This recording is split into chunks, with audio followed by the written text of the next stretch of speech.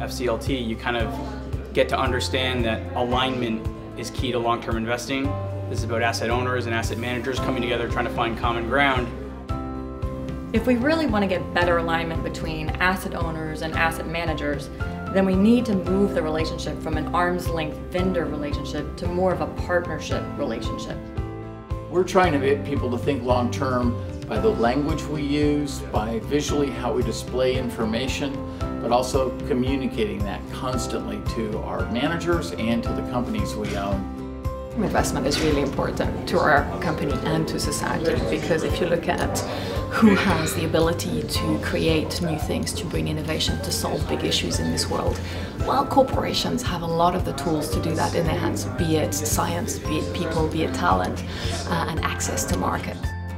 Our purpose is to link those who've got capital and need to save for retirement or for some other long-term purpose and those who need capital. And that gives you a long-term perspective because when you think about the purpose of finance being to link those two in the most efficient way, you've got to have a long-term perspective to meet the needs of your clients and your investors.